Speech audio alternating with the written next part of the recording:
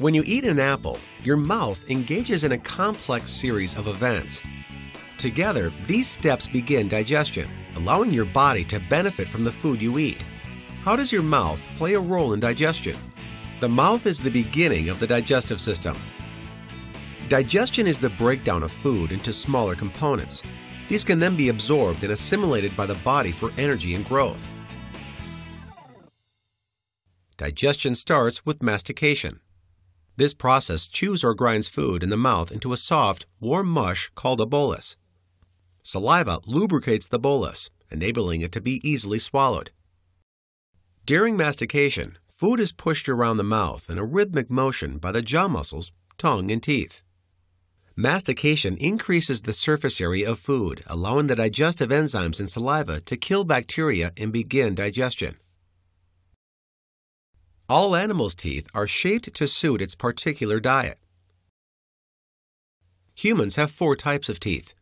Incisors are located at the front and midline of the mouth. They are relatively flat or chisel shaped and suited for cutting food. Canine teeth are also known as cuspids. They have a single pointed surface called a cusp. They use the cusp to tear and shred food. Premolars are also known as bicuspids. They are between the canines and the molars. They crush and grind food. Molars, at the back of the mouth, serve the same purpose using three or four blunt cusps. The tongue helps to shape food into a bolus during mastication, but it also tastes the food. It senses the chemical, tactile, and thermal stimuli that give food its flavor and so called mouthfeel. What enables the tongue to taste flavor? The bumpy structures that cover the tongue's surface are often mistaken for taste buds, but the bumpy structures are papillae. These goblet shaped elevations help create friction between the tongue and food, enabling the tongue to form the food into a bolus. Most papillae contain taste buds.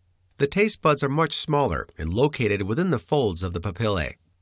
Taste buds have specialized cells called gustatory receptors the receptors respond to stimuli from the chemicals in food. The chemicals give rise to several primary tastes. They are sweet, salty, bitter, sour, and umami or savory. Some scientists claim that fat is a sixth taste. When a gustatory receptor is stimulated, an electrical impulse is sent to the gustatory region of the cerebral cortex, which registers the signal as taste. The salivary glands are located to the side of and underneath the mouth. Salivary ducts lead to the mouth, releasing saliva into the oral cavity. Saliva moistens food, helping to create a bolus that is easily swallowed. Saliva also lubricates the esophagus, easing passage of the bolus. Saliva is 98% water. It contains digestive enzymes, including amylase, Amylase catalyzes the hydrolysis of starch into sugars. This reaction begins digestion of sugars in the mouth before reaching the stomach.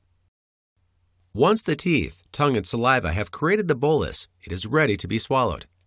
Swallowing is a complex process combining voluntary and involuntary responses. The first step is for the tongue to voluntarily press the bolus backward into the pharynx. When the bolus reaches the pharynx, it initiates several reflex involuntary responses. The opening of the esophagus is enlarged by pulling the larynx forward and down. The epiglottis swings shut to protect the airway. Closure of the epiglottis directs the bolus to enter the esophagus. The bolus stimulates a peristaltic contraction to drive movement of bolus down the esophagus into the stomach. The next time you snack or eat a meal, Consider each of the complex series of events that comprise the act of eating and swallowing. It'll taste a lot better.